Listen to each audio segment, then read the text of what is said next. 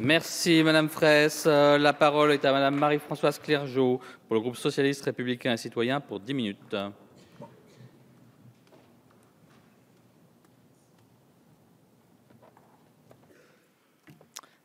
Monsieur le Président, Madame la Ministre, Madame la Présidente de la Commission des Affaires sociales, Madame la rapporteure, mes chers collègues, l'analyse de la situation qui vient d'être faite par euh, Dominique Orliac, l'auteur de la proposition de loi qui arrive en séance aujourd'hui, est très largement partagée sur l'ensemble des bancs de cet hémicycle.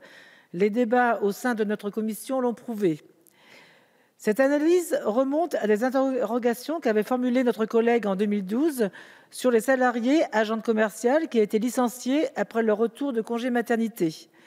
En effet, la reconstitution d'un portefeuille de clientèle demande du temps.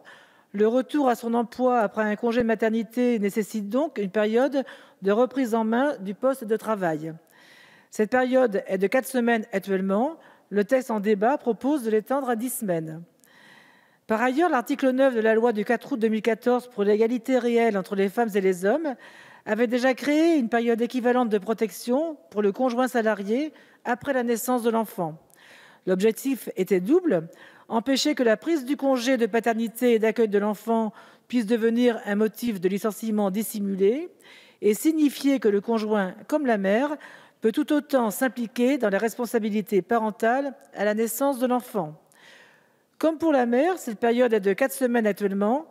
Le texte en débat propose de l'étendre à dix semaines.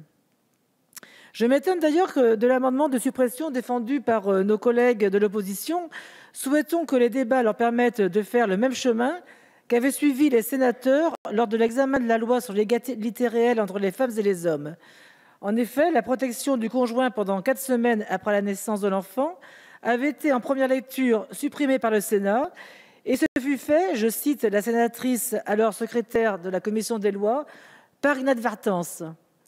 Dans un second temps, le Sénat avait donc reconnu que le congé de paternité et d'accueil de l'enfant peut éventuellement devenir un motif de licenciement, même inavoué, et qu'il fallait donc étendre la protection aux conjoints souhaitant bénéficier de ce congé librement et en toute quiétude. Les dispositions de la présente proposition de loi recueillent, vous l'avez compris, un avis favorable de notre part, parce qu'elles se justifient pleinement à partir de deux constats. Le premier est simple les femmes ne disposent pas des mêmes chances et des mêmes opportunités dans leur vie professionnelle que les hommes. La différence s'explique par les interruptions de carrière dues notamment au congé pour maternité. C'est une réalité qui est également connue des Français.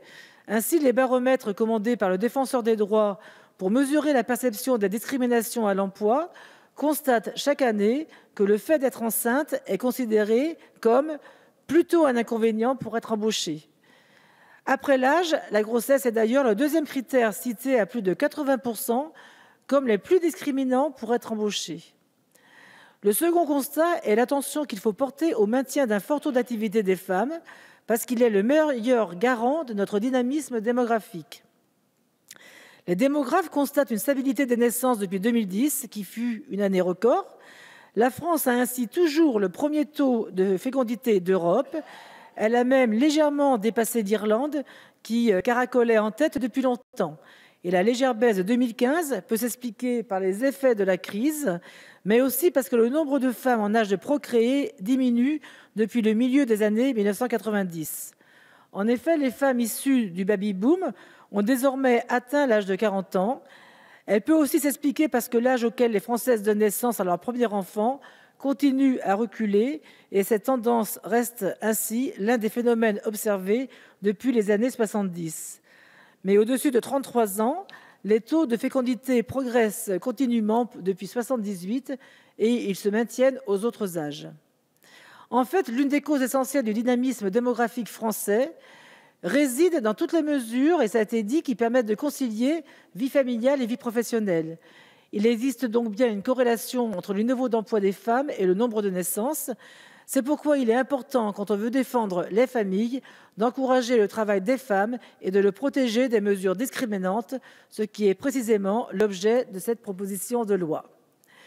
Notons au passage que ces différents objectifs qui touchent à la fois aux droits des femmes et à la politique familiale disqualifie l'inutile inquiétude formulée çà et là sur le nouvel intitulé du ministère regroupant les familles, l'enfance et les droits des femmes. Cette proposition vient prouver qu'il existe des liens entre les droits des femmes et les familles, sans renier aucun féminisme, avec des questions comme l'équilibre des temps de vie personnel, familial et professionnel, ou ici la protection professionnelle des femmes et la défense des familles. Enfin, la rapporteure, par voie d'amendement, souhaite intégrer dans la loi une jurisprudence de la Cour de cassation. Elle concerne l'interdiction non seulement de licencier la salariée pendant la période de protection après son retour en poste, mais encore l'interdiction de prendre pendant cette même période les mesures préparatoires à son remplacement définitif, c'est-à-dire à son licenciement futur. Même si, sur le fond, il n'y a pas de souci. Par contre, je considère que la définition de telles mesures préparatoires nécessite encore d'être précisée et enrichie par d'autres apports de la jurisprudence avant d'être inscrite et stabilisée dans la loi. Aussi, si cet amendement était maintenu, notre groupe ne pourrait pas le voter. Passé cette réserve, c'est avec plaisir et détermination que notre groupe soutiendra l'adoption de cette proposition de loi qui fait progresser les droits des femmes et des familles. Je vous remercie. Merci Madame.